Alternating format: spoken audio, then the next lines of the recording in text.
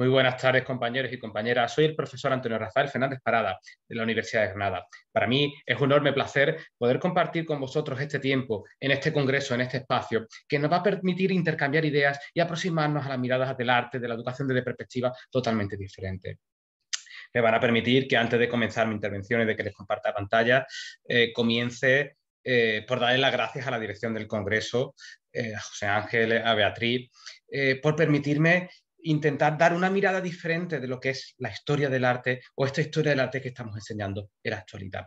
Sin más, mm, voy a dar, compartir pantalla y vamos a ir desglosando poco a poco los términos o los conceptos que yo quiero eh, introducirles en el día de hoy, eh, que nos van a permitir eh, abarcar o crear un nuevo aparato visual totalmente sobre la historia del arte que estamos trabajando en la actualidad. Vamos a compartir pantalla.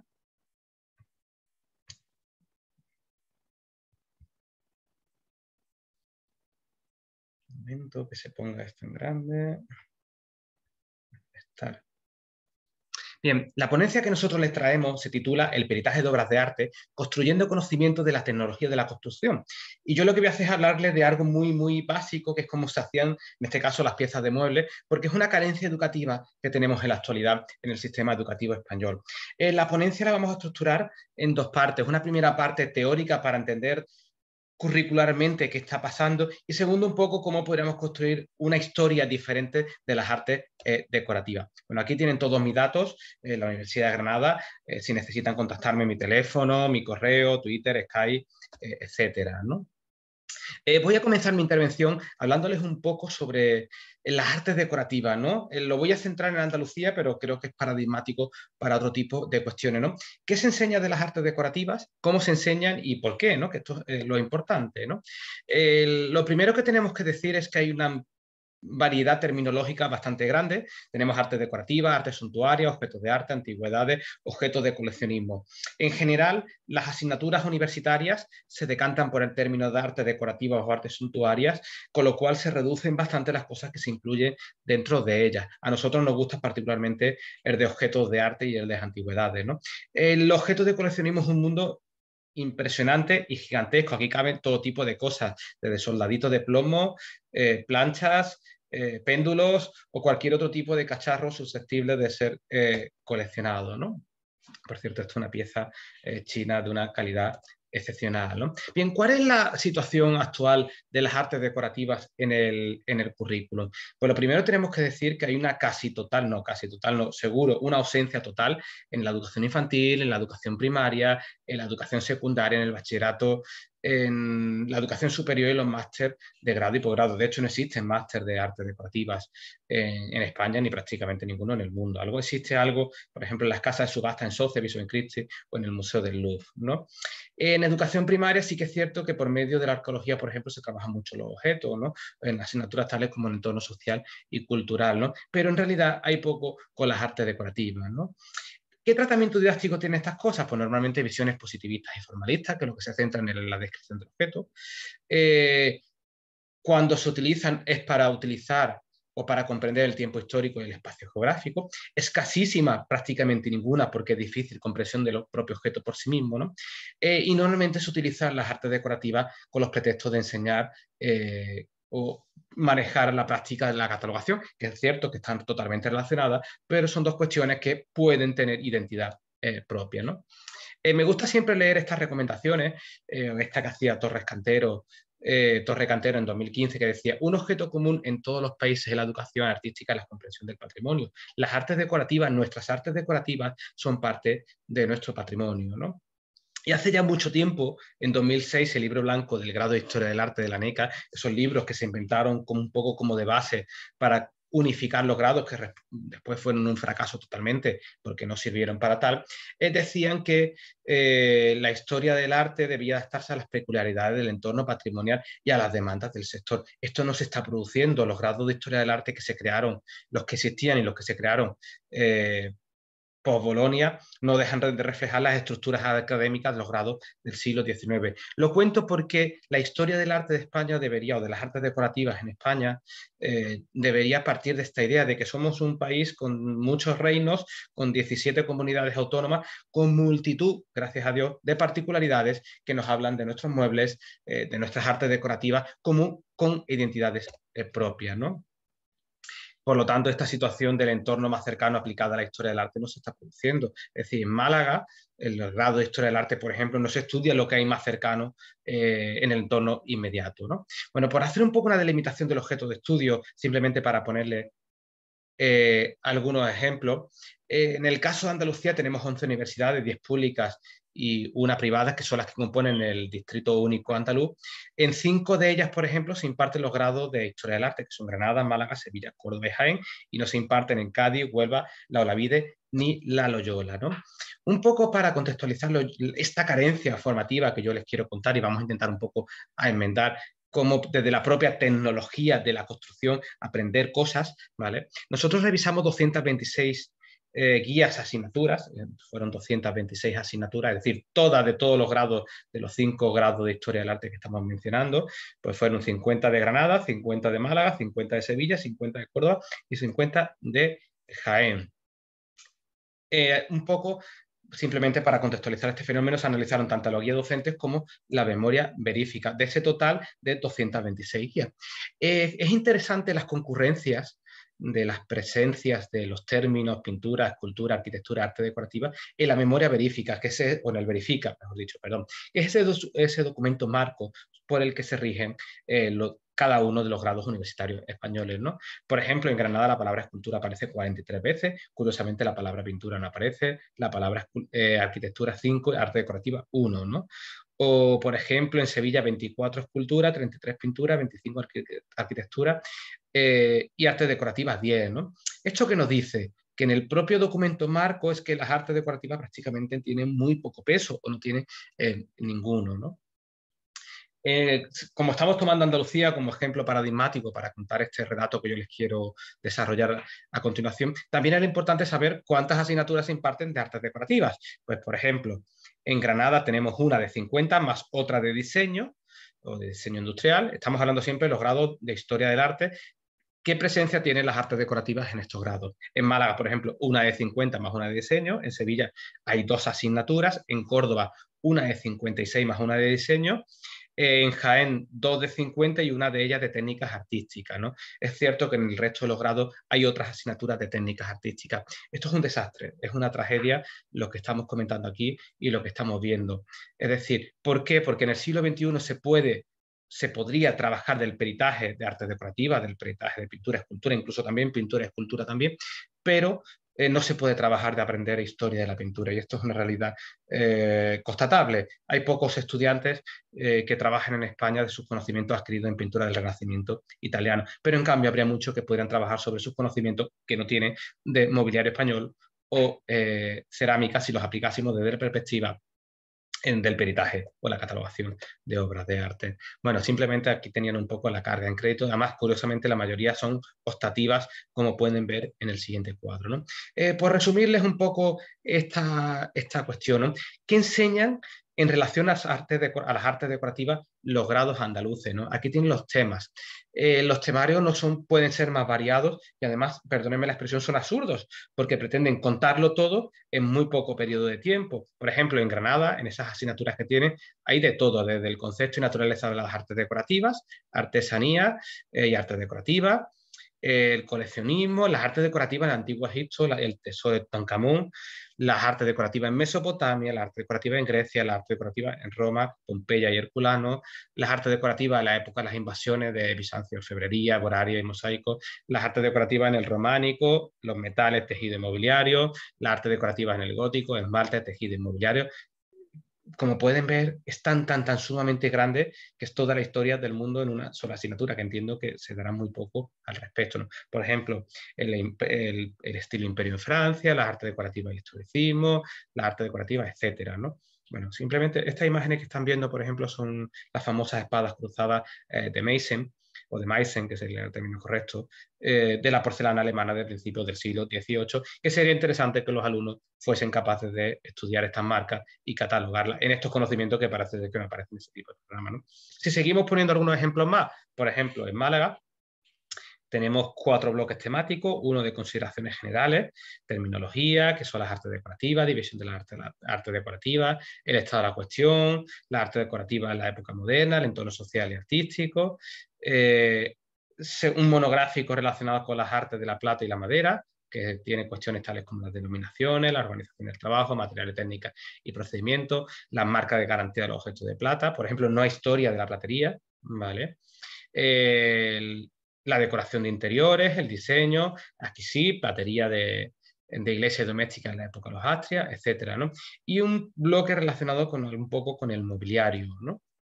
En Sevilla que tenemos dos asignaturas, una son eh, se imparte antes santuarias y medievales, que o de nuevo Mesopotamia, Egipto, Grecia, Bizancio, prerrománico, románico, etc.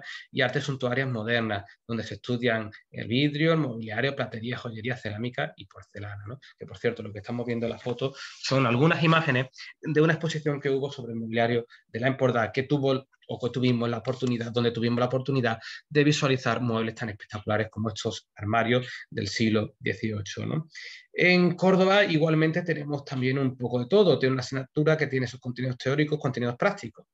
En con, respecto a los contenidos teóricos, pues tenemos las artes decorativas, un poco la definición, cerámica, vidrio, madera, muebles, armaduras, orfebrería, textiles y cuero, etcétera, eh, con respecto a la parte práctica, ¿no? Eh, la platería cordobesa, la platería en otros andaluces, eh, la rejería, las vidrieras, las reales fábricas, ¿no? Eh, esto es un ceradón imperial chino, creo recordar que es el mismo, ¿no? En Jaén, por ejemplo, cuestiones que se estudian, pues conceptos y, y artes decorativas, materiales técnicas y formas, la antigüedad de la Edad Media, los inicios, hasta los tesoros eclesiásticos, el Renacimiento, el esplendor y del barroco. Esto podría ser el programa de cualquier asignatura que no fuese de arte eh, decorativa. De todo esto, de esta parte un poco más introductoria, ¿qué podemos sacar en conclusión? Primero, un predominio total de las artes decorativas europeas en el caso de que se enseñen, una ausencia prácticamente total de las artes decorativas españolas en el caso de Andalucía, eh, intento de dar visiones que reflejen una historia gigantesca, con lo cual entendemos que es algo totalmente imposible, muchísima diversidad de contenido, asignaturas normalmente de seis créditos optativas que no son obligatorias, eh, suelen ser un pretexto para enseñar catalogación de obras de arte, eh, diferencia entre las asignaturas dedicadas al diseño industrial y aquella dedicada al arte decorativa, predominio de la plata y de la madera, diversidad terminológica con respecto a los nombres, no hay presencia de las artes decorativas internacionales, etcétera, ausencia de contenidos, por supuesto, periciales, de los que no se desarrolla absolutamente nada, y contenidos históricos, ¿no? Bien, partiendo un poco de esta síntesis, de esta breve síntesis de lo que está pasando en la realidad universitaria, o por lo menos en la andaluza, con respecto a la, eh, a las artes decorativas, eh, lo que les voy a mostrar ahora es una visión totalmente diferente que la del peritaje, eh, de ahí el título de la ponencia, ¿no? Cómo podríamos construir en realidades diferentes con respecto a estos objetos. Claro, para ello deberíamos formar a personas con conocimientos específicos en cada una de ellas. En lo que yo les voy a contar prácticamente no se enseña en ningún sitio en España y esto lo deberíamos tener en cuenta. ¿no? Vamos a, personificar o ejemplificar eh, todos los casos anteriores en el caso de cómo podríamos explicar mobiliario desde una visión muchísimo más profunda o historia del mobiliario o mucho más compleja. ¿no? Me gusta empezar con, esta cita ¿no? y con el mueble parlante, y ahora entenderemos lo de los muebles parlantes, lo de los objetos parlantes de la Bella y la Bestia. ¿no? Decía eh, Dufresne hace ya bastante tiempo, ¿no? en el final del siglo XIX, principio del siglo XX, que cada mueble y cada objeto tiene un, alma y un estilo que para su periodo es lo que la personalidad para un individuo. Y es totalmente cierto. El, parte de las ideas que yo le quiero contar, cómo el peritaje puede ser una herramienta para contar nuevos relatos, tienen que ver precisamente con esto, eh, con el interrogar correctamente o hacer las preguntas adecuadas al objeto, en este caso personificados en el mobiliario, pero podrían estar aplicados eh, a otro tipo de cuestiones. Si partimos de esa idea de la praxis de la catalogación de obras de arte, que es algo curiosamente que los alumnos universitarios españoles no saben hacer, o por lo menos los andaluces, eh, en cinco años o en cuatro años del grado de Historia del Arte en Málaga no hay ni una sola práctica de catalogación de obras de arte. Es incomprensible que en el siglo XXI los alumnos no sepan catalogar, por ejemplo, en Domus, que por cierto es bastante eh, complejo, ¿no? estos son dos sillas catalanas eh, de finales del siglo XVIII. La catalogación de obras de arte, desde nuestra perspectiva, debería aplicar todos estos contenidos y no quedarnos solo en la parte superficial, de la historia del arte. Eh, para nosotros, una historia del arte, una catalogación de obras de arte compleja y profunda, debería partir de los conocimientos generales de historia del arte, de las propias historias de las artes decorativas, eh, de las historias particulares, de la, historia del, de la historia del mueble, de la historia del marfil, de la historia de la plata, que hemos visto que no existen en los programas anteriores prácticamente, de la propia teoría del peritaje, que es general, y de las propias teorías específicas de los peritajes. Esto es el peritaje de las piezas de mueble, el peritaje de marfiles, el peritaje de plata, etc. Y ya si queremos añadirle, a partir de todo esto podremos mencionar la tasación de obras de arte. ¿no? Eh, ¿Cuál es la tendencia actual dentro del mercado del arte y la catalogación de obras de arte no comerciales? Sería unificar incluso eh, en muchos casos, por ejemplo, la que hace museos, ¿no? como el Museo del Prado, pues partiríamos del método del conocedor, unido a las técnicas de laboratorio, más la dimensión social de la obra, más la documentación. Si unimos estas cuatro cosas, ciertamente nos podremos aproximar a la obra, de, a cualquier tipo de obra, sea arte decorativa, pictórica, escultórica, etcétera, desde una visión muchísimo más holística. ¿no? Bien, como les he dicho anteriormente, me gusta esto de interrogar a los muebles, ¿no? Y aquí tenemos estos, en este caso, parlantes por sí mismos, eh, que hablaban además los objetos de la, Bella y la Bestia. Eh, a mí me interesa preguntarle a las piezas y cuando les hacemos preguntas eh, correctas, nos cuentan muchas cosas. ¿Qué pasa? El catalogador de obras de arte, esto del mundo idílico de la obra de arte firmada es mentira. Eso pasará en los museos y en pocos más sitios, ¿no? Un catalogador de obras de arte, de una casa de subasta, de un museo, bueno, quizá lo de los museos en muchos casos tienen las piezas eh, documentadas con la procedencia. Suele enfrentarse a piezas totalmente descontextualizadas, que no sabemos dónde viene, cuál es su historia o cuáles son sus características, con lo cual el, el objeto per sí tiene, per se, perdón, tiene que ser considerado como una fuente documental importante. Por lo tanto, o por lo tanto, tenemos que interrogarlo correctamente. ¿no? Cuando lo interrogamos correctamente, las piezas hablan mucho más estas piezas de la Bella y la Bestia. ¿no? Bueno, esto es un mueble español eh, del siglo XVIII. Eh, ¿no?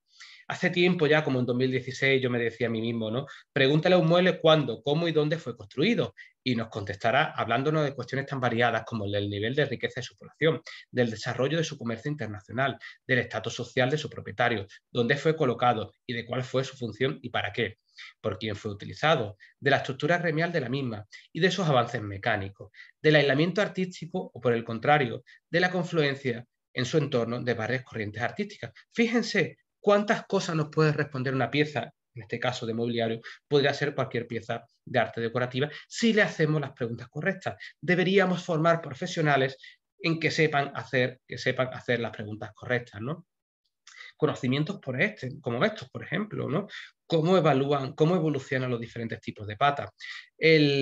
la forma nos dirá que corresponde a cada uno de estos estilos y probablemente la fecha. Otra cosa es que el peritaje sostenga que una pieza esté realmente hecha en el periodo Luis XIII eh, francés o no. Por eso es importante el peritaje de obras de arte.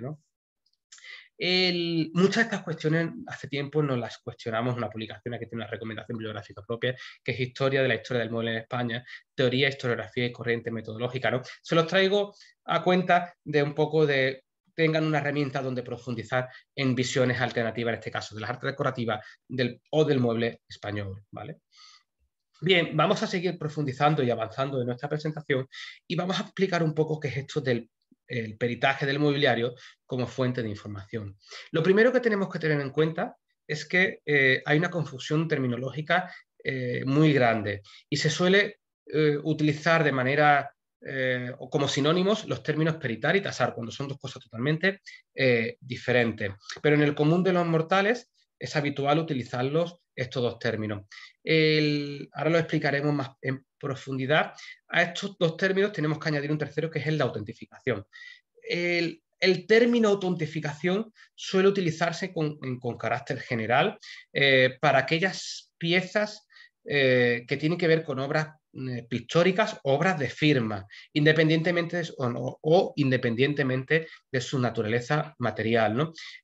pero siempre o casi siempre lo tenemos en cuenta en relación a la pintura, al grabado, a la escultura, etc. ¿no? Para otro tipo de cuestiones tenemos el término peritaje, que les doy aquí una definición mía propia, pero creo que es muy interesante. Dice, podríamos definir el peritaje como el conjunto de técnicas y procedimientos que nos permiten analizar una realidad material determinada para ubicarla en un contexto productivo específico, esto es, en un tiempo histórico y un espacio geográfico concreto. Esto sería la base del peritaje. ¿Qué quiere decir? cuando peritamos igual que peritamos un coche estropeado, lo que pretendemos es contextualizar o identificar una serie de causas o de consecuencias. Y en este caso, sobre todo, esas causas o consecuencias nos tienen que llevar a, determinado, a un determinado contexto productivo. ¿Qué quiere decir esto? Que lo que pretendemos es, por medio de la técnica pericial, ahora desarrollaremos cuáles son las cuestiones que podríamos ver en el caso del mobiliario, eh, lo que nos permite es ver eh, si un objeto está hecho en un momento determinado y en una fecha determinada. Para este tipo de cosas, insistimos, no damos formación en los grados de Historia del Arte en España. De hecho, la única formación que existe al respecto es la que se da en la Escuela de Arte de Antigüedades en Madrid, los cursos de peritaje de, la Asociación de Historia del Mueble en Cataluña y poco más. ¿vale? Por su parte, la tasación económica de obras de arte es pues, como dice su término o el nombre, es ponerle precio. Pero claro, para ponerle precio tenemos que saber lo que tenemos entre manos, con lo cual lo tenemos que eh, peritar. A lo largo de los años, no me canso de decirle a mis alumnos que el negocio no está en la tasación, sino en saber por ti mismo lo que tienes entre manos. Si no eres capaz de saber que es un mueble español andaluz del siglo XVIII, eh, si no eres capaz de peritarlo, nunca podrás ponerle precio, porque el beneficio económico está en que tú lo sepas por ti mismo y no tienes que preguntarle a un especialista, ¿no? Eh, estos análisis periciales de obras artísticas, estructuras, decoraciones, procedimientos, nos permiten hablar de cómo se hacían las cosas en determinados sitios. Por eso yo les he dicho anteriormente que esa realidad que el libro blanco del grado de Historia del Arte mm, no se estaba cumpliendo con respecto a la realidad española, que es que existen varios reinos históricos, 17 comunidades eh, autónomas, en las que, por ejemplo, el mobiliario se construía de manera diferente en muchas de ellas. Por ejemplo, aunque este no es el caso ilustrativo, algo muy paradigmático es que los bargueños españoles se construían las guarderas, que son los laterales de los cajones, se construían de manera diferente los reinos de Castilla y Aragón. Esto parece una cosa muy tonta, pero gracias a ello podemos saber si una pieza es aragonesa o es castellana. Tendremos que ver muchas más cosas, ¿no? Pero esta es una de ellas. Esto es un conocimiento ultra especializado que aparece en ningún sitio prácticamente, ¿no?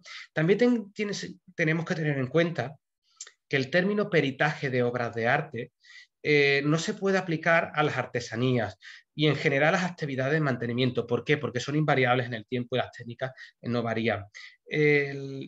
salvo con análisis químico muy avanzado en algunos casos, muy difícil de saber si un cacharro mm, en cerámica eh, desornamentado es de una fecha u otra, cuando las tierras son las mismas a lo largo de los periodos. ¿no? Con lo cual esto es extrapolable también, por ejemplo, a cuestiones como la, como la cestería o determinados eh, tipos de artesanía. ¿no? Bien, como les, como les he dicho al principio, lo que pretendo es eh, aplicar la perspectiva tecnológica desde las tecnologías más antiguas, valga la redundancia.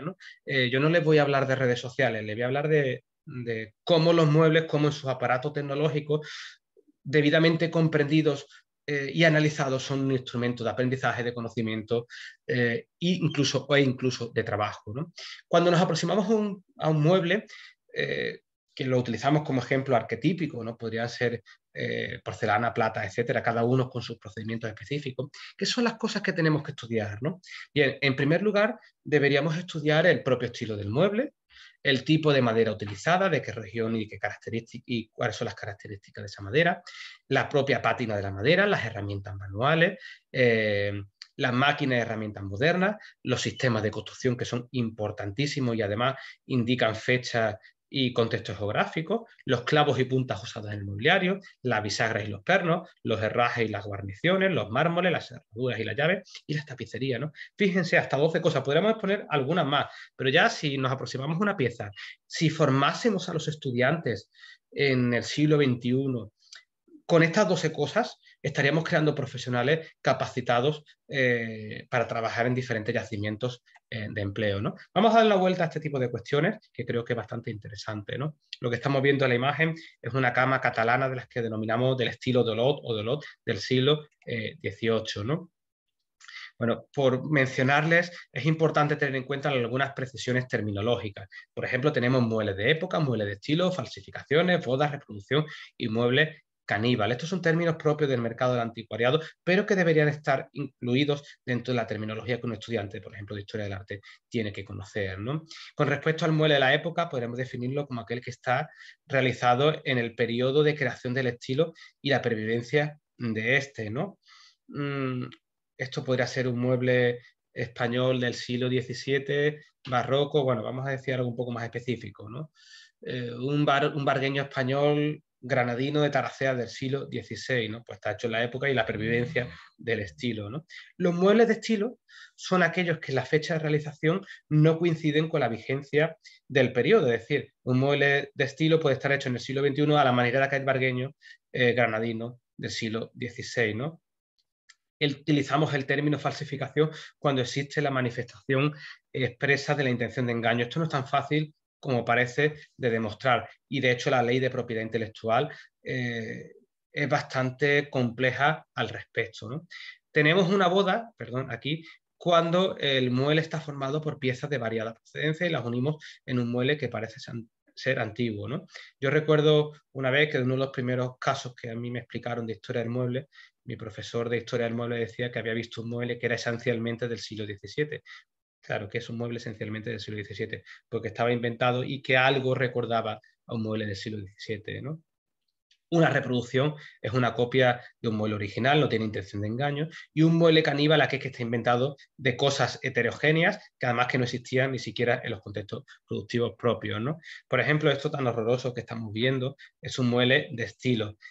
Tampoco es cierto porque en el propio estilo Luis XV, que sería el equivalente, no existen este tipo de cosas. Esto sería, si existiese algo en la historia del mueble antiguo, tendríamos que irnos a muy, muy finales del siglo XIX para encontrar realmente un estilo como este, con lo cual aunque esto es un mueble de estilo, realmente es un mueble complejo porque el estilo como tal no existen este tipo de cosas en la historia del mueble hasta fechas relativamente recientes. O por ejemplo, esto que estamos viendo aquí es un, mueble, un mobiliario de estilo neoclásico, en este caso quizás mucho más fácil de identificar que en el anterior. ¿no?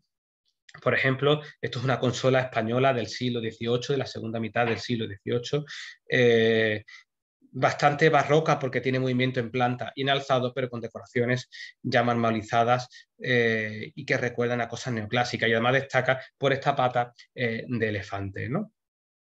Con lo cual esto es importante la cuestión del estilo. Eh, súper, súper importante, una de las cosas más importantes y de las que no tenemos conocimiento y deberíamos formar a los estudiantes son los tipos de madera utilizadas. Indican fecha, indican región, indican manera de hacer. ¿no? los expertos en historia del mueble deberían tener en su casa una pequeña biblioteca de maderitas para identificar maderas. Por ejemplo, sabemos que en Inglaterra, eh, de hecho, mejor dicho, en Inglaterra, tradicionalmente, aunque esto ya se superó, se clasificaba la historia de sus muebles por la edad del roble, la edad del nogal y la edad de la caoba. La edad del roble sería aquellos muebles realizados en la época medieval, la del nogal más o menos coincidirá con la época moderna y la edad de la caoba sería a partir del final del siglo XVII, principios del siglo XVIII. Por ejemplo, en Portugal es famoso el palo santo y sus muebles son famosos por la beta, por el, palo santo, eh, que además son, son, muebles muy pesados, muchísimo de los más pesados y por una beta muy característica. En cambio, en España es característico el nogal. No quiere decir que no llegasen cosas de otras épocas. Por ejemplo, los países nórdicos son muy habituales eh, los muebles realizados con eh, maderas de beta rubia, como puede ser, el arce. Esto es una cómoda inglesa del, hacia mediados del siglo XVIII con herrajes dorados al mercurio realizada en caoba, para que vean el efecto tan bonito que tiene. ¿no? Claro, solamente la propia, el propio uso de la madera en un contexto específico, como en este caso Inglaterra, nos dice cuándo pudo estar hecho este mueble. Después habrá que peritarlo con el conjunto de cosas de la lista que hemos visto, ¿no? para que veamos unos bronces antiguos. Si desmontamos, no está puesto en el listado, pero sería importante peritar los bronces también. Si desmontamos estos bronces, como están dorados eh, al mercurio, la parte de atrás, eh, no estará dorada. Los modernos dorados por electrolisis a partir del siglo XIX están dorados por delante y por detrás. Bueno, es una cuestión importante a tener en cuenta. Aquí de nuevo pueden ver otro mueble inglés eh, eh, realizado en caoba y además tan característica este estilo, en este caso volviendo a la forma de los estilos de los muebles ingleses e irlandeses del siglo XVIII. Eh, por su parte, aquí estamos viendo una de las muebles más particulares que podemos encontrar en España, que está prácticamente sin estudiar, que es el mueble rondeño. Esto es una sillería eh, que está en Málaga, en la ciudad de Ronda, donde se, desarrolló un núcleo productivo de mobiliario de los más importantes que podemos encontrar en el contexto de las producciones españolas del siglo XVIII. Son muebles con muchísima personalidad, son muebles realizados en nogal, que además en la mayoría de los casos, o en muchos de los casos, especialmente los del siglo XVIII, son modelos tomados del libro del Chippendale eh, o el estilo Chippendale, que aquí creamos uno propio que era el Chippendale andaluz, Chippendale por el ebanista que se llama Thomas Chippendale, eh, que tienen este tipo de forma. Además están construidos de una manera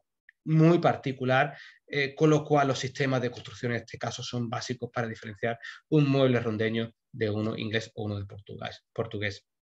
Si seguimos avanzando en nuestra lista de ítems, cosas que debemos tener en cuenta es la pátina en la madera. les pongo aquí un ejemplo. Esto sería un ejemplo de mueble inglés del siglo XVII, donde con una muy mala pátina.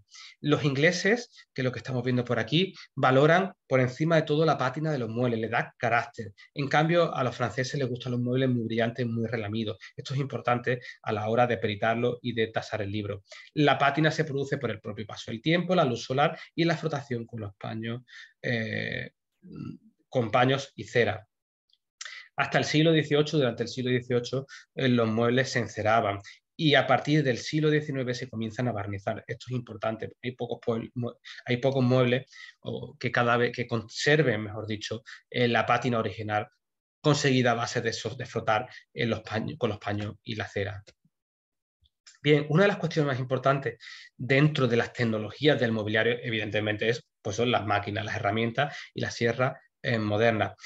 Podríamos encontrar muchos casos, pero para tener un ejemplo tendríamos sierras manuales, las gupias, las marcas de los cepillos de dientes y las marcas de azuelas.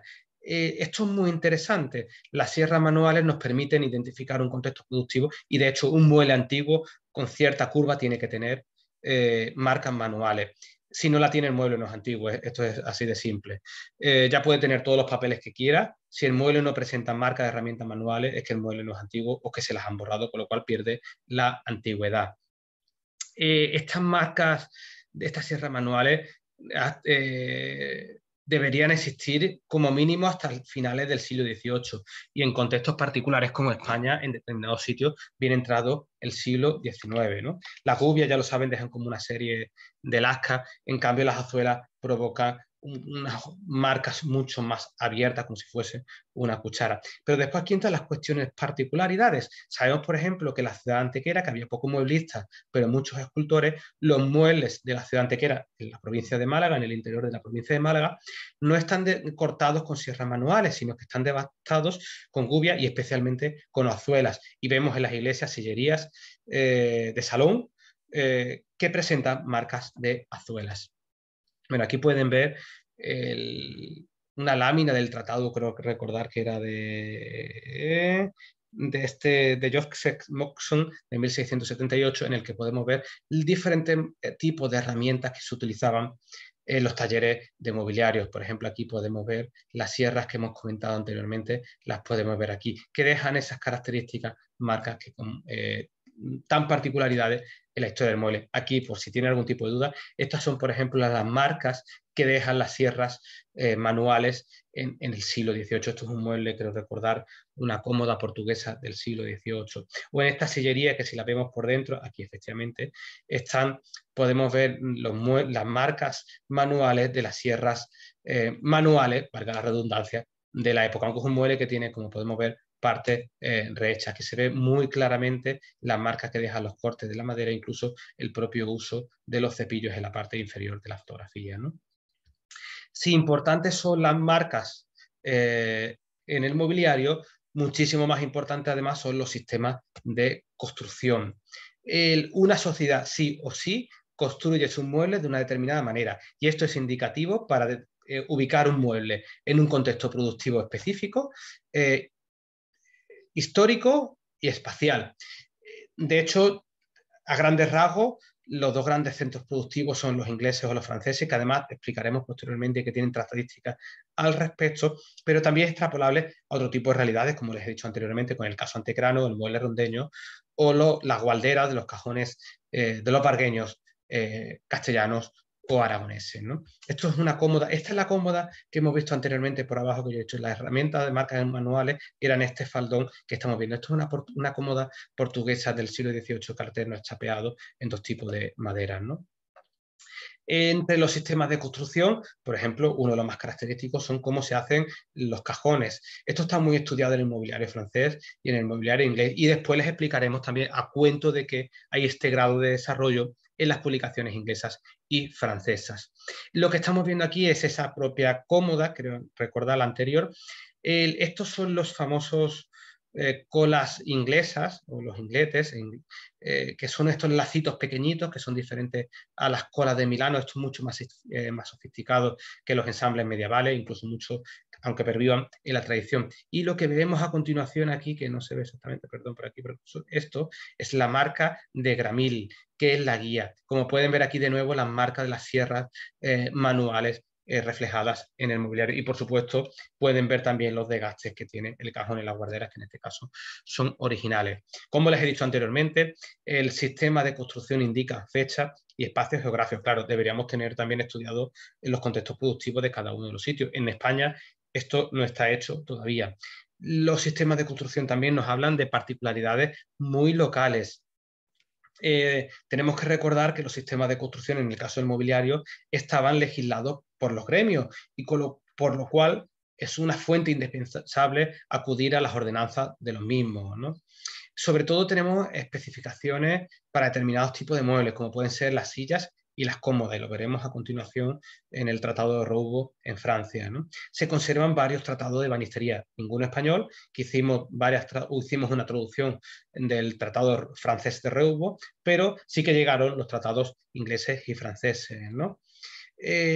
son especialmente importantes, no, son muy importantes los modos de construcción ingleses y franceses, pero claro, porque el resto de los modos de construcción todavía eh, no están estudiados. ¿no? Lo que estamos viendo aquí, la fotografía, que por cierto no sé dónde es ahora mismo, es un bargueño español, eh, castellano, de estos que llamamos de columnilla eh, o salamantinos, que realmente no son todos ni salamantinos ni de la propia área. ¿no? Tenemos que entenderlo como un contexto productivo mucho más amplio. De nuevo, lo que les decía, la cuestión de cómo se realizan en los cajones, cómo se construye y cómo se ensambla. ¿no?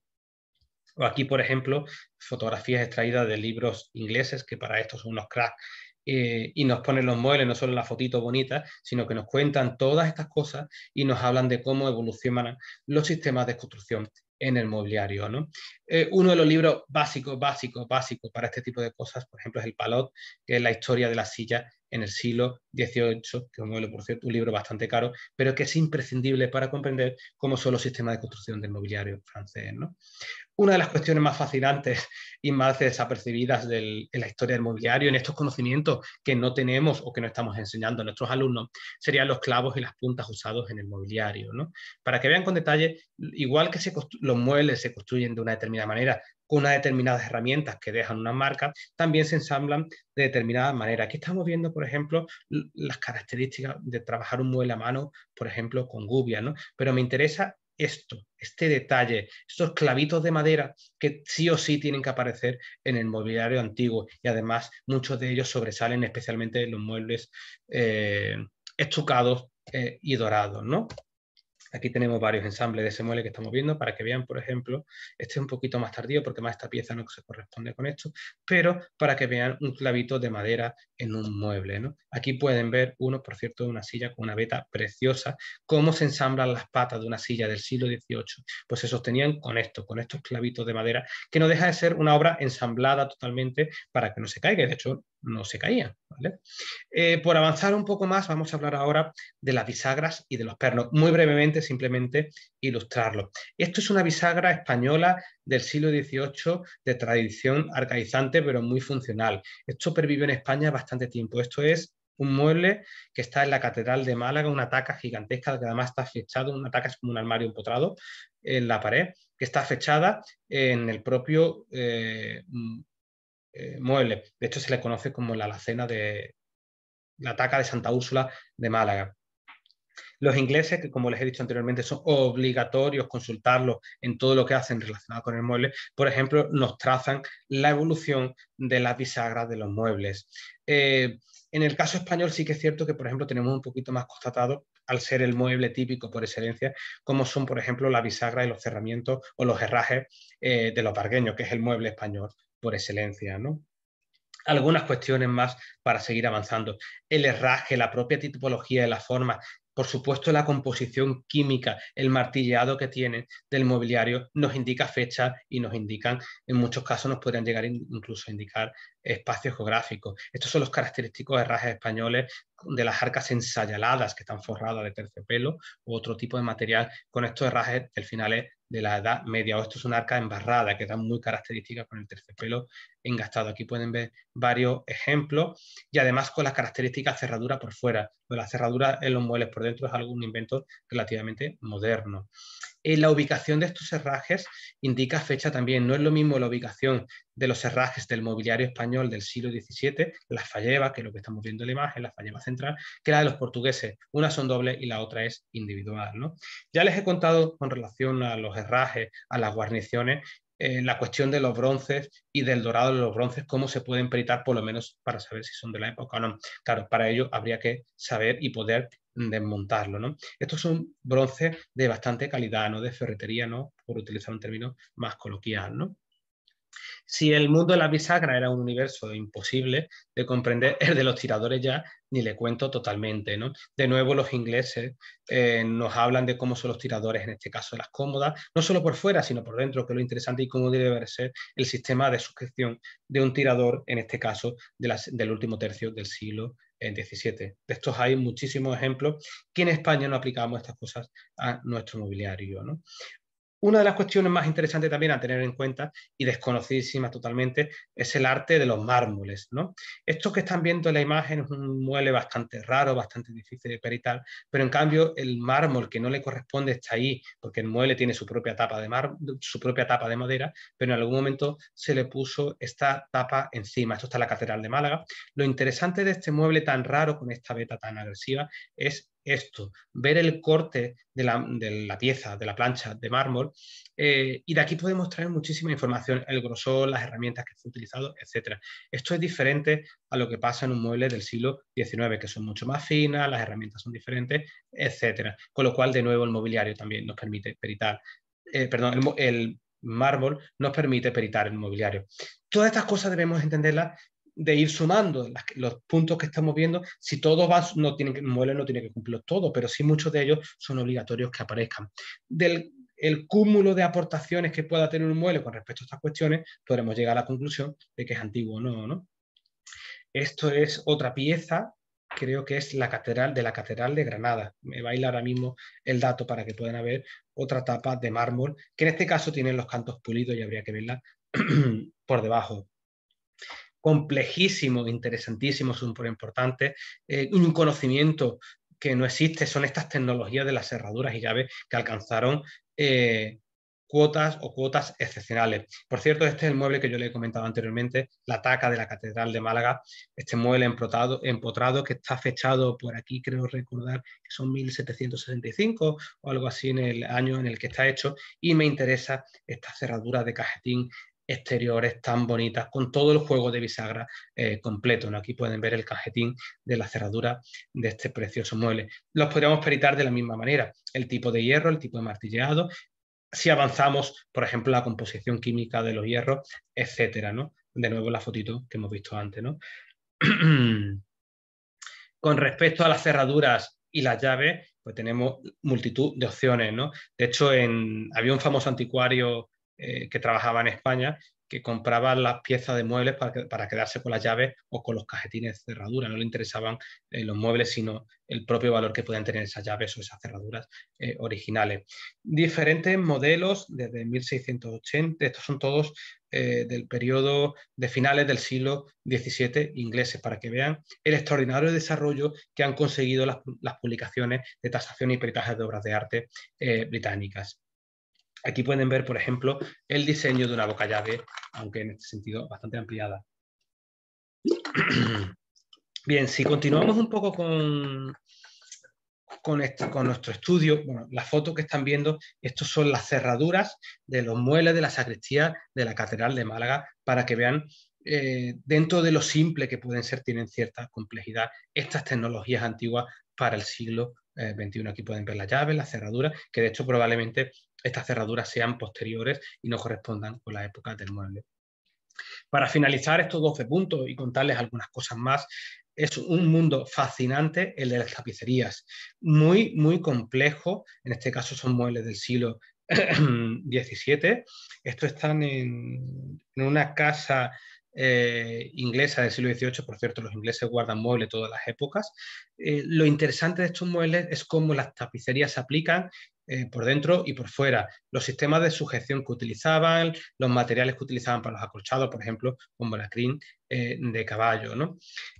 aquí pueden ver este mueble, que en algún momento esto está sacado directamente del libro, pueden ver el tipo de, las cinchas y el claveteado, aunque en este caso hay partes repuestas. Esto es importantísimo que lo hagamos muy importante en cualquier tipo de pieza, que le demos la vuelta y si es posible veamos el sistema de sujeción de la tapicería. De la tapicería, perdón. Aquí pueden ver, en este caso, otro sistema de eh, las cinchas del acolchado de un mueble. Son cosas bastante importantes. En el, para esto en español no existe bibliografía. Eh, aquí pueden ver unas cinchas modernas. Es curioso porque el mueble es antiguo, pero se han repuesto las cinchas, intentando imitar las antiguas, pero son eh, modernas. Aquí son importantes, que creo que no están, los libros, por ejemplo, de Dossot, Osut, que es un, los libros de Claude Osut en francés, eh, que estudian las tapicerías y el desarrollo de las mismas. Bien, dicho esto, hemos visto un poco al principio cuál es la problemática de la enseñanza del peritaje, de, o mejor dicho, primero hemos visto la problemática de la enseñanza de las artes decorativas, luego hemos visto algunas definiciones particulares, particulares de peritaje, tasación, etc. A continuación hemos dado un breve repaso a lo que es el cómo podríamos aplicar la propia tecnología del mueble como fuente de conocimiento y como fuente evidentemente docente, vamos a, continuación dar unas pinceladas muy breves de algunas cuestiones más. Dentro del peritaje de mobiliarios que hemos, que hemos visto anteriormente, no hemos hablado de las estampillas. Las estampillas son esas marcas que en España no se utilizaban eh, sobre el mobiliario. Eh, son características especialmente de los muebles franceses y de algunos contextos particulares. ¿vale? Ya le hemos dicho anteriormente que una sociedad construye unos muebles de una determinada manera y esta idea es importante por lo que les voy a comentar a continuación. es curioso eh, que en Francia y en Inglaterra afloraron en, origen y en la actualidad publicaciones relacionadas con los sistemas de construcción. Eh, Le Art de Menuisier es el Tratado de Roubo, es uno de los tratados más famosos de la historia de muebles, que además hubo unos extractos eh, que se publicaron en español. Es básico para comprender los sistemas de construcción del mobiliario francés. Del año 1772 tiene fotitos como estas que no, solo nos cuentan cómo se cortaba el mobiliario, aquí en este caso un tronco, sino que además nos especifican cómo tenían que ser las, eh, los ensambles de determinados tipos de muebles. ¿no? Por ejemplo, hemos visto anteriormente alguna bibliografía, eh, El arte de la silla de Palot, que es un libro muy, muy básico, o los libros de Osut, que los tienen en francés, por si a alguien les interesa buscarlo, para comprender el peritaje. ¿Por qué les cuento todo esto? Em, bueno, aclaremos también el caso de Inglaterra, son importantísimos varios libros o catálogos de la época, por ejemplo, el de Reitor de Chippendale, el, eh, la guía o la llamada el Cabinet Market, eh, la guía de Happelweth o el libro de Sheraton, ¿no? que vendrían a llenarnos el mobiliario, explicarnos el mobiliario inglés prácticamente del siglo XVIII entero. ¿no? Claro, la pregunta es, ¿por qué este tipo de publicaciones eh, eh, florecieron especialmente en Inglaterra y en Francia, siendo totalmente inexistentes en España? Algún caso la profesora Sofía Rodríguez Berni eh, ha utilizado y en el sector catalán la doctora y especialista en historia del mueble Mónica Piera y los investigadores catalanes están intentando incluir esta perspectiva en sus publicaciones. Claro, para responder a esta pregunta tenemos que tener en cuenta eh, varias cosas. La primera es la gran cultura coleccionista que hay en Francia eh, y en Inglaterra. También tenemos que tener en cuenta, de hecho, las grandes colecciones de arte decorativas están en Francia o están sobre todo en Inglaterra. ¿no? En el caso francés, Debemos tener en cuenta también que bajo el reinado de Luis XIV el mobiliario se elevó a la categoría de las bellas artes. Y esto es importante porque el mueble o las piezas de mueble, un mueble de Bull como esto que estamos viendo, Andrea Charles Bull, era una obra de arte igual de importante que un cuadro o con una pintura. Y de hecho incluso podría costar eh, o costaba mucho más por el tipo de materiales, ¿no? Claro, eh, una vez que el mobiliario alcanzó la categoría de las bellas artes, el siguiente paso fue convertirse en un objeto de deseo y, por tanto, de colección. Estas ideas son importantes para lo que yo les quiero mencionar a continuación. Esto es un relieve de un armario probablemente de Andreas Charles Bull, el mejor o el gran ibanista de la historia del arte a nivel mundial. ¿no? ¿Vale? En la actualidad y en el pasado, también en el siglo XVIII, los muebles más cotizados eran los franceses, especialmente los de la Ile de France, los, parisinos. Eh, eran muebles producidos en un contexto muy particular y muy acordes a los gustos de exhibición y ostentación que requería la etiqueta cortesana del siglo XVIII. Francia, que era consciente del interés que despertaban sus muebles y sus ebanistas, que actuaban como lo que eran grandes artistas, eh, creaban obras de arte que firmaban. ¿Y cómo se firmaban? Por medio de las estampillas. Claro, en España el, mueble, el mobiliario, el mueble, no era objeto o no se elevó, o no, ni siquiera en la actualidad, a la categoría de bellas artes. Esta diferencia es importante porque provocó que en un sitio se identificasen las obras de arte y en el otro sitio no, ¿vale? Claro, eh, esta situación de desarrollo del mobiliario francés y que se firmase hizo que eh, afloraran los tratados sobre los sistemas de construcción y también los diccionarios de marcas eh, de banistas. ¿vale? Claro, llegando al quid de la cuestión, la diferencia entre los originales franceses con otros muebles o con otros muebles hechos en otras regiones se caracterizan por estas razones. Primero, que la marca de la estampilla es reconocida una paternidad expresa del mueble. Es decir, fulanito de tal hizo tal mueble, ¿vale? Eh, claro, esa paternidad estaba sujeta a unas normas gremiales específicas, con lo cual le otorgaba al mueble un tipo de calidad, segunda cualidad. Eh, y tercera eh, cuestión importante es que tenían sistemas, desarrollaron, como hemos dicho anteriormente, sistemas propios para construir sus muebles. Por ejemplo, esto es el famoso buró mazarino del cardenal Mazarino, marca la redundancia, que es un mueble excepcional. De hecho, no está hablando de los materiales, las técnicas, el sistema de construcción, etcétera, ¿no? Eh, claro, por lo tanto, el mobiliario francés se construía de una manera específica que permitía identificarlo. Claro, como era caro y sigue siendo caro, al final hubo que poner los medios para identificar lo que era francés de lo que no era francés. Que por cierto, en la actualidad se vende el mobiliario español, por ejemplo, el Carlos IV español se vende como muebles francés, ¿no? Son muebles, como un poco en conclusión de todo esto, ¿no? Son muebles franceses tanto en la apariencia como en la firma, como en el sistema constructivo. Y eso hace que la obra de arte tenga un precio, en este caso la de mobiliario, mucho mayor al, que, al de otro tipo de mueble. Esto es el famoso eh, Buró Abatán de Oeben, que es una de las piezas también más importantes de la historia del arte o de la historia del mobiliario, ¿no? los diversos tipos de muebles. ¿no? Claro, en esa pregunta de por qué, ¿no?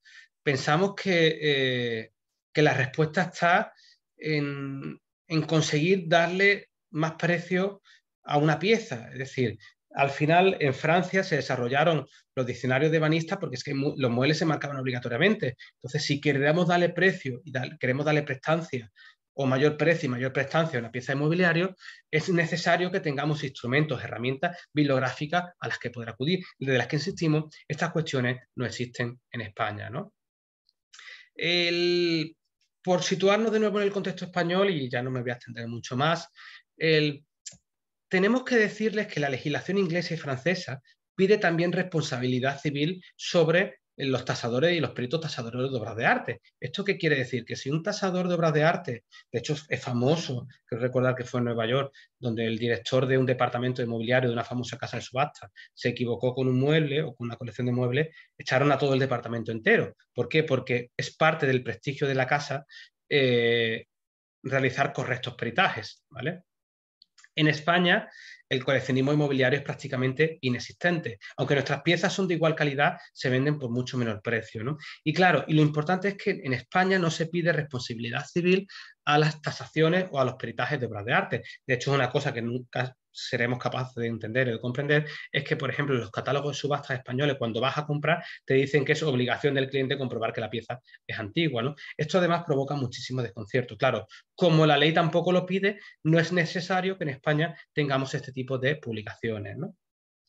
Les he dicho anteriormente que en España el mobiliario no se estampillaba, no se marcaba, cosa que sí que pasaba en Francia. Pero sí que es cierto que teníamos una particularidad especial, que es que en España marcábamos los herrajes de plata de las piezas de los mobiliarios.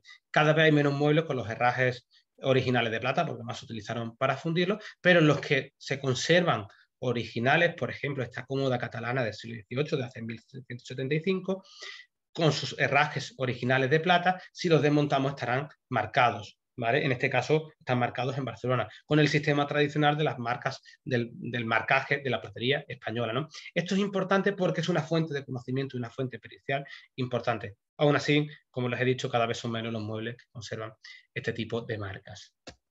Bien, por ir terminando, otras fuentes de conocimiento de las que, o en las que deberíamos formar a nuestros alumnos.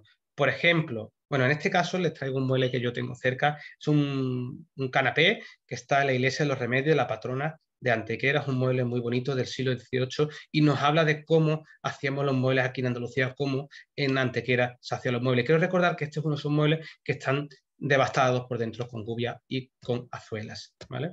Por cierto, por ahí pueden ver también pueden ver los clavitos de madera. ¿no? El, otras fuentes de información, porque son muy interesantes, por ejemplo, tenemos las marcas comerciales eh, y la publicidad. Eh, aquí tienen los ingleses ya desde el siglo XVII y XVIII hacían publicidad de sus establecimientos relacionados con el mobiliario. Eh, esto no existe prácticamente en España o hay muy poca constancia. Estos son piezas que se vendían en un determinado establecimiento con los dibujillos, con la explicación de lo mismo. Y aquí tienen varias etiquetas, bueno, tenemos marcas comerciales, mm, tenemos publicidad, esto es publicidad, pero también tenemos etiquetas de ventas. Pues esto es el logo de cualquier empresa. Esta quiero recordar, la del Cisne Blanco, que era una empresa especializada en, en cajoneras, estanterías, eh, muebles para cerrar, etcétera, ¿no? Con lo cual, esto es publicidad de venta y esto serían etiquetas comerciales. Esto es un mundo fascinante del que tenemos muy pocos conocimientos, por lo menos en España, eh, al respecto, ¿no? Esto ya más tardío, los catálogos de ventas del siglo XVIII y XIX, que hay bastantes extranjeros y en España están por salir. Eh, algunos han salido ya del siglo XIX, ¿no?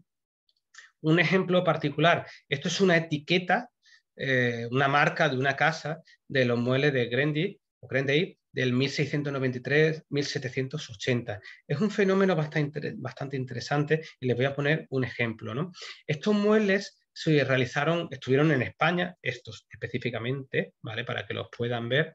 se trata de un conjunto de unos 70 muebles lacados en, lacas rojas del siglo XVIII, que en algún momento llegaron al Palacio de Lascano, en San Sebastián. Hoy día están dispersos por el mundo y ya se sabe que una fecha bastante temprana, que en 1930, este anticuario compró varias piezas del lote y se distribuyeron eh, por diversos museos, colecciones, etcétera, a nivel mundial. ¿Por qué les cuento esto? Porque, como hemos visto anteriormente, los muebles estaban enmarcados con las etiquetas eh, del ebanista. Había dos tipos de, etiquetas, bueno, mencionales simplemente cambiaban eh, el tipo de cosas que, el texto que se incluían. En una de ellas aparece la palabra sillas y mesas y en la otra no aparecía, ¿no? El, de hecho, hay algunos de estos muebles que tienen también la etiqueta de la Feria de Antigüedades de 1930 que se celebró en Cremona. ¿no? Es un conjunto interesantísimo que en este caso nosotros lo estamos estudiando o nos interesa no desde el punto de vista eh, histórico-artístico, incluso de la propia historia del mobiliario, sino cómo las etiquetas que presentan son una historia de... Eh, podemos, nos permiten hacer historia del mueble. Eh, una de las cuestiones que no hemos saltado anteriormente, pero que es ultra compleja y que deberíamos también tener ciertos conocimientos, son la heráldica en el mobiliario. Normalmente aparecen los escudos nobiliarios, órdenes religiosas o marcas, y, eh, aquí un error, marcas institucionales. Pero después pasan cosas como estas. Eh, le animo que hagan la práctica y que lo busquen. Esto es el famoso arca de boda de Juana la Loca, que se vendió, creo recordar en su momento, como por un millón de euros o una cosa así. Eh, si buscan el mueble en internet, no existe. Y se preguntarán por qué. Porque probablemente es que la venta fue ficticia, ¿no? Porque lo que no tiene sentido es que el mueble más importante vendido de la historia del, mercado del arte español o de la venta de muebles, cuando buscan por internet que no aparezca. Es que probablemente fue una venta ficticia y que el mueble no fuese tan antiguo o tuviese algunas cosas raras, ¿no? El, bueno, por ponerle uno de los ejemplos más bonitos de mi, o quizá de mi favorito, yo le tengo también un cariño especial. De hecho, fue la portada de mi tesis doctoral sobre mobiliario. En la mesa, la famosa mesa de las cartas náuticas de Río de Abex. Esta pieza se vendió en un precio de salida de 120.000 euros. No tengo el dato ahora mismo, eh, pero subió eh, bastante. Se trata de lo que estamos viendo en la fotito, que si no la aprecian, es la carta náutica del mar Mediterráneo y vemos por aquí, eh, vemos Gibraltar, Málaga, Murcia, Valencia, las islas, Italia, la bota, etc. Bueno, en este caso era una pieza, además tenía los escuditos, estaba documentada, etc. Bien, aquí la pueden ver con más detalle.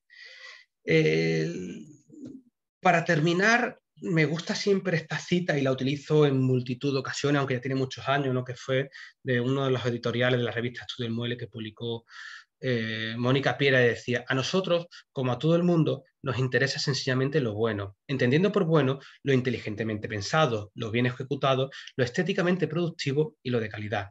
Nos fijamos en aquellos que, en su contexto, aportan soluciones y nos acercamos a lo que transmite energía positiva y emoción. Eh, con todo esto que les he contado en un congreso de nuevas tecnologías, mm, de educación y de, mm, ciencia, he querido poner de manifiesto, quiero ponerle de manifiesto que en esencia las cosas antiguas también son ciencia y que también son tecnología y que nos permiten construir sociedades más avanzadas, más democráticas, más respetuosas con nuestro patrimonio y sobre todo eh, sociedades eh, muchísimo más justas les, se los he dicho al principio, nuestros muebles nos hablan de nosotros mismos, de nuestras historias, y va a depender de nosotros en que se los contemos al mundo de una manera o de otra. Y también va a depender que seamos capaces de crear profesionales en el siglo XXI que sean capaces de vivir de la historia del arte. Sin más, yo quedo a vuestra total disposición. Espero que esta ponencia haya sido eh, de vuestro interés y cualquier duda que tengáis eh, al respecto intentaré solucionarlas por email, por teléfono, cualquier tipo de cuestión. Muchísimas gracias a todos